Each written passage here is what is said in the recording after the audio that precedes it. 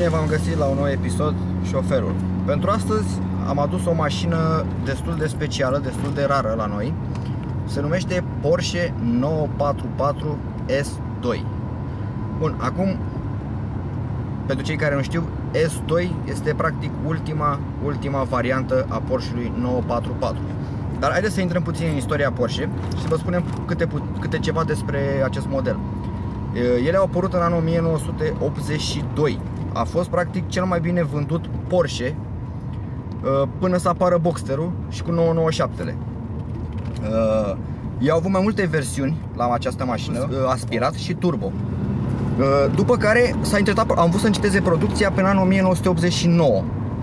E, dar atunci inginerii Porsche s-au gândit să dezvolte, să mai facă încă o versiune, practic, o, o ultimă versiune. Și așa a apărut acest S2, care este un mot, uh, cu un motor aspirat de 3000 în 4 cilindri.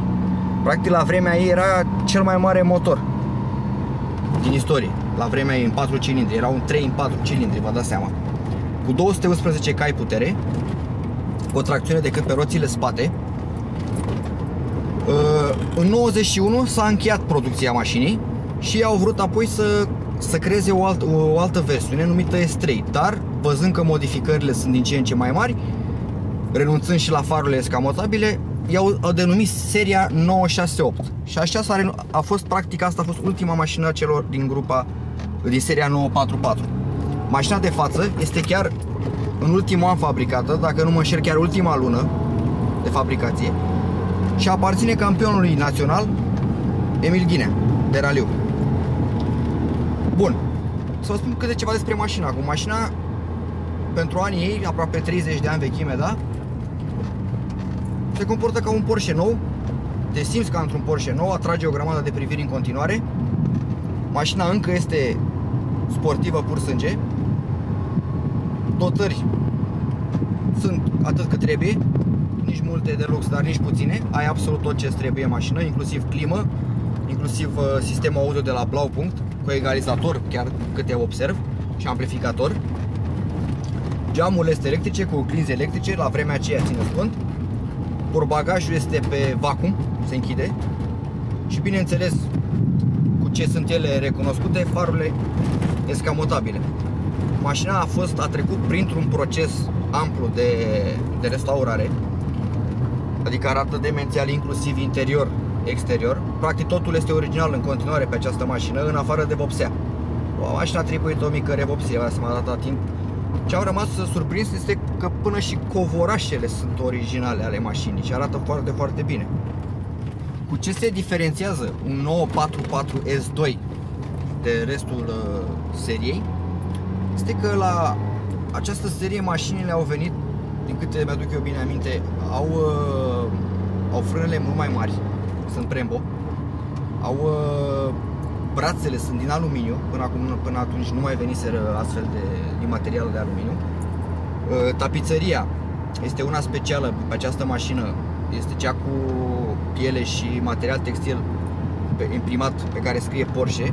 E practic din câte țin eu minte cea mai scumpă dotare la acea vreme, era de interior. Uh, locurile din spate, nu știu dacă poți să le numești locuri, că sunt cam mici, nu știu cine poate să stea pe acolo, probabil doar un un copil sau ceva au, sunt separate, au uh, calul acesta pleacă până în spate practic mașina este doar 4 locuri ce am rămas surprins la ea este că portbagajul este destul de mare chiar foarte mare pentru o mașină sport încă o dotare care, din câte știu eu, a venit doar pe 944 S2 este eleronul acela de pe portbagaj. Din câte țin minte, numai pe această mașină a venit. Uh, și S2, dacă nu mă înșel, a venit și într-o variantă cabrio. Mai rare, dar știu că există și o variantă cabrio acestei mașini. Vizibilitatea la volan este foarte bună. Chiar aș putea spune e ca într-un sedan, toate că este o mașină sport, inclusiv în oglinda retrovizoare. La multe mașini sport, oglinda retrovizoare este practic degeaba. Aici se vede foarte bine și practic poți să vezi puțin și prin pe sub eleron.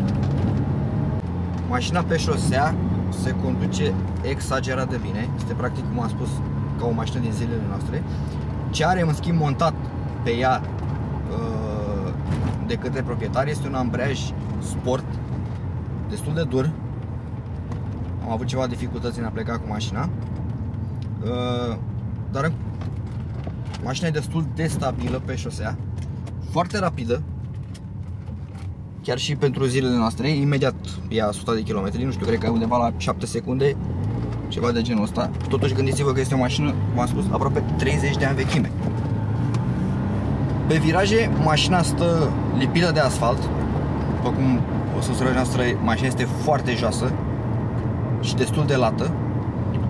Una peste alta, mașina este una excepțională în toate punctele de vedere, ca și finisaje, cum am spus, ca și mecanică pe ea, ca și restaurare absolut impecabilă.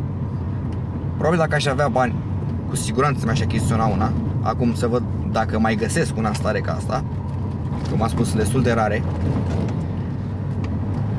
Din câte țin minte, prin Constanța, cred că ar fi cam singura la noi în județ.